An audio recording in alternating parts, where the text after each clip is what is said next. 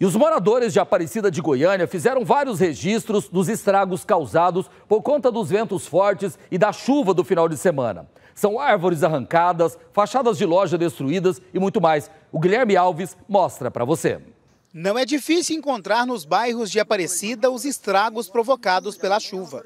Teve de tudo: fachada de lojas que ficaram completamente destruídas, um painel de publicidade que caiu, além de várias árvores arrancadas. Essa árvore que caiu aqui na Avenida das Nações, da região central de Aparecida, causou muitos prejuízos, inclusive a fachada dessa loja caiu junto. Ventava muito na hora da chuva. A gente percebe que a pista aqui está toda interditada. E o mais impressionante é ali, ó, as raízes da árvore. A violência desse vento, da chuva, foi tão forte que parte do asfalto foi arrancado junto. E a gente tem aqui ó, os moradores que estão calculando esses prejuízos que tiveram aqui. Inclusive, a porta da casa deles está completamente é, fechada. E aí a gente vê um prejuízo grande para vocês aqui. Com certeza, né? Um prejuízo material muito grande. A chuva veio acompanhada de vento forte e granizo. Foi um susto muito grande, muito grande. Muito barulho, muito vento, granizo.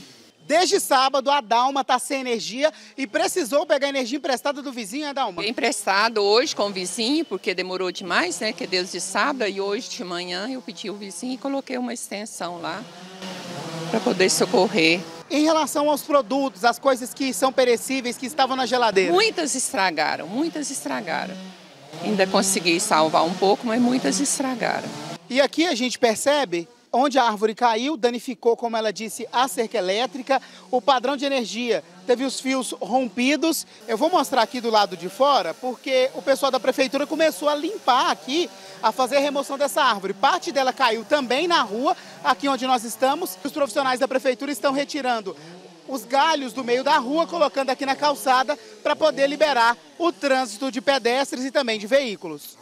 Em nota, a Secretaria de Desenvolvimento Urbano de Aparecida disse que as equipes estão trabalhando desde domingo na limpeza da cidade após o forte temporal na região.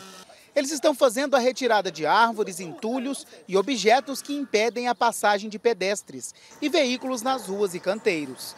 Já a Enel disse que deu todo o apoio necessário para que as equipes da prefeitura pudessem remover as árvores que caíram devido à chuva.